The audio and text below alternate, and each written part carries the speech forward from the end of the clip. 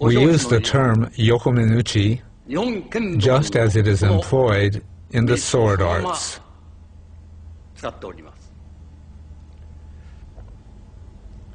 One of the main problems with this technique is the use of the hand in the basic strike. Most Aikido practitioners stand this way and extend their hands. This is not tegatana, the hand blade. If you were to strike this way, you would just injure your own hand. It shouldn't be done this way. If you are going to use the hand like a sword, you must position your hand as though you are holding a sword.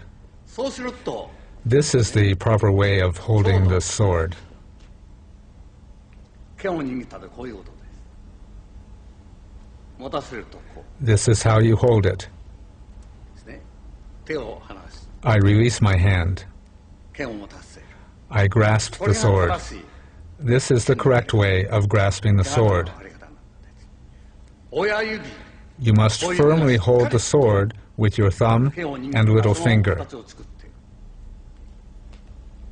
それにおいて初めて From this これ position, You can execute the various striking and thrusting movements using the sword. Of course, there are about 12 ways of using the hand, and they all start from here.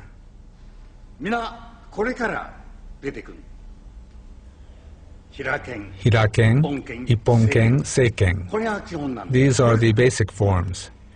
It is completely wrong to assume this stance. You must raise your hand straight over your head in order to strike correctly. Most people begin their strike from here, the side of the head. This is proof that a person has not practiced the sword properly. You can't cut anything this way.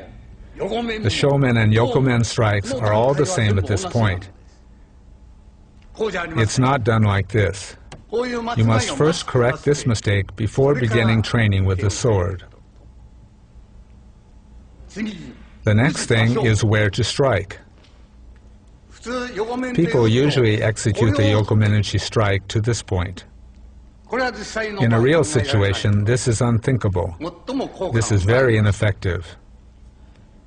No one in a realistic situation on a battlefield would cut here because it is ineffective. It's hard to cut.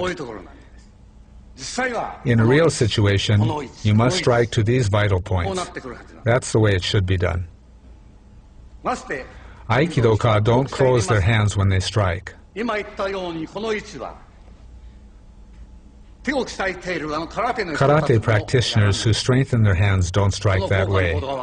They know it's not effective, so naturally they don't strike that way. So what is the purpose of Aikidoka, who haven't even strengthened their hands, striking in such an ineffective way? That's the problem with this way of striking. This is where we strike. Here and here. With the sword, of course, you strike the shoulder. We have made various corrections and developed this way of doing it.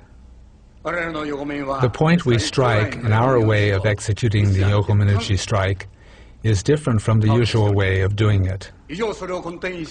I would like to demonstrate Yokomenuchi techniques with this in mind.